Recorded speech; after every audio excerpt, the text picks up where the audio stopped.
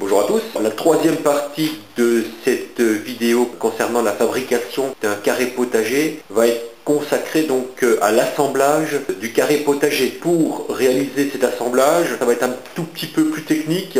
On aura besoin d'outils un petit peu plus spécialisés. D'abord, il faudra avoir quelques tasseaux pour faire des calages. On aura toujours besoin de la perceuse visseuse avec euh, un embout euh, torx et puis une mèche bois euh, de 4 mm. On aura besoin également d'un mètre, de quelques tiges filetées donc, euh, dont la dimension euh, seront donc adaptées en fonction de votre situation, de 10 vis type Torx en acier inoxydable de 5 mm de diamètre et de 10 cm de longueur. J'aurai encore besoin de la scie sauteuse avec une mèche spéciale bois et puis un jeu de différentes mèches à bois, c'est de la diamètre 8, 14, 18 et 22, plus une clé à douille de 14. Ensuite, on aura besoin donc d'un équipement un peu particulier.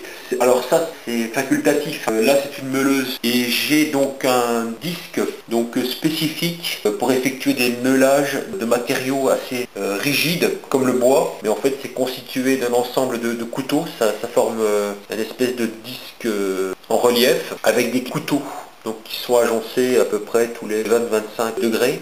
Et donc euh, c'est un outil qui permet de décaper le bois. Vous allez comprendre pourquoi euh, ça peut être intéressant d'avoir ce genre d'outil. Ensuite, euh, toujours besoin dans ce cas-là d'équipement de, sécurité. Et puis on aura également besoin de goudron de Norvège ou du goudron végétal.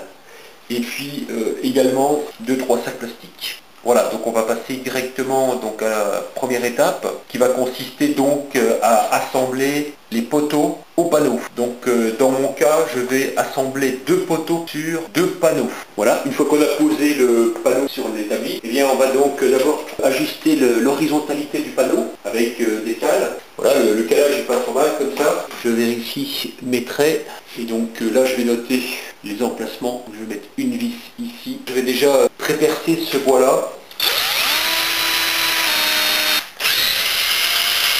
Donc je vais déjà positionner la première vis.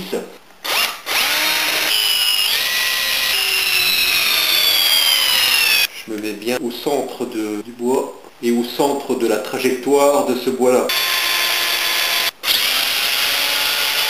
Je pose la vis.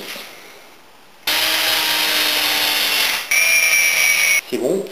Voilà, donc je vais faire un pré-perçage juste à côté, à peu près à 5 cm.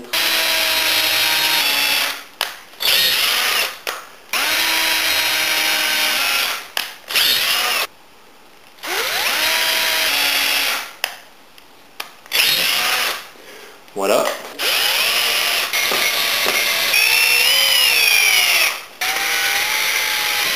Voilà.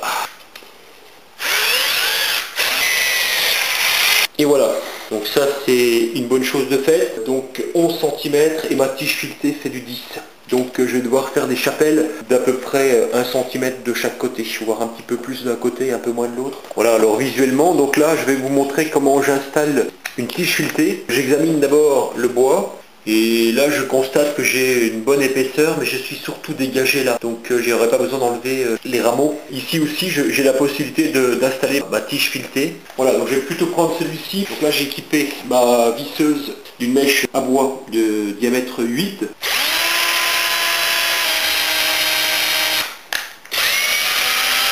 Comme j'ai du bois vert, il vaut mieux aller par à coup, parce que les copeaux ne, peuvent pas sortir correctement du bois quand on fort.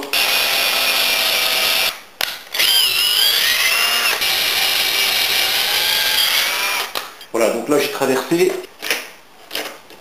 Voilà, donc je suis bien centré, c'est bon. Je pourrais juste obliquer un tout petit peu vers le haut.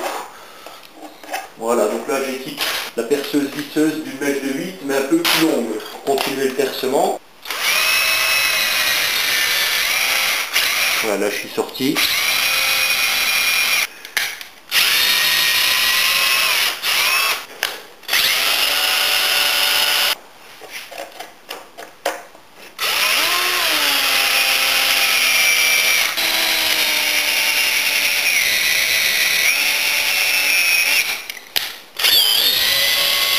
Le diamètre que viens de forer correspond donc au filetage de la tige. Et maintenant je vais créer donc euh, deux chapelles à chaque extrémité pour pouvoir y positionner une rondelle et l'écrou de serrage. Alors je positionne l'écrou en projection pour voir jusqu'où je vais devoir euh, creuser mes chapelles. Là, je vais devoir creuser quand même jusqu'ici, à peu près, à peu près 2 cm de chaque côté.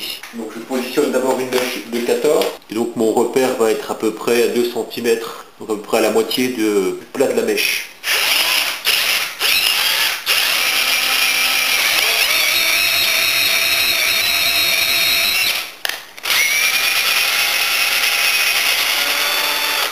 Et je réalise euh, la même chose de l'autre côté.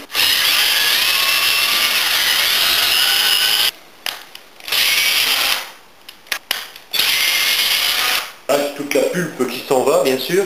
Maintenant, je positionne une mèche de 18 pour agrandir encore les deux extrémités. Donc, je m'enfonce également à moitié.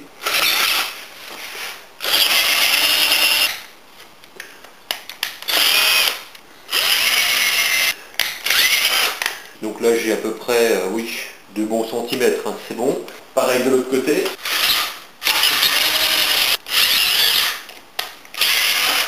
Voilà. Et maintenant d'un seul côté, je perce un trou de 22 pour pouvoir enfoncer la clé à douille.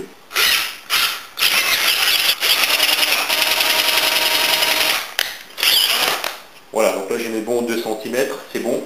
Je suis même pas la moitié du bois. Ensuite, j'introduis juste la tige filetée et je vais la pousser de l'autre côté avec une cale. Pour commencer. Je sens le, le filetage qui est là. Je vais faire progresser légèrement sans abîmer le filetage bien sûr. Pour avoir la vis qui ressort de l'autre côté. Voilà donc la vis est là. Je m'équipe d'une rondelle et donc de l'écrou.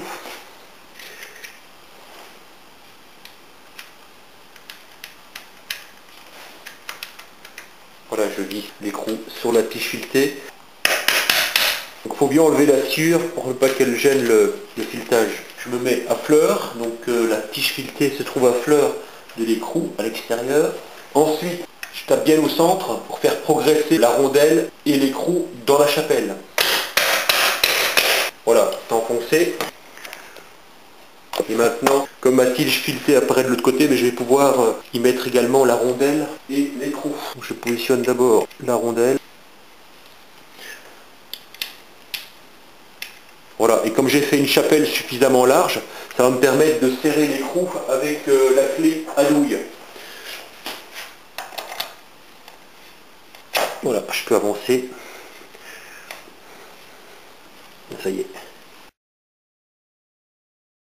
Alors maintenant j'égalise euh, tous les rameaux ou toutes les branches qui dépassent euh, du poteau.